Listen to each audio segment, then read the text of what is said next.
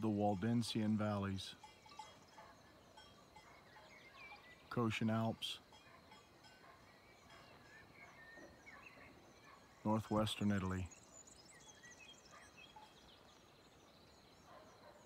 I now understand why Sir Samuel Morland said that this place was as though the all-wise God had from the beginning created a cabinet wherein to put some inestimable jewel or wherein to preserve many thousands of souls which had not bowed the knee to Baal.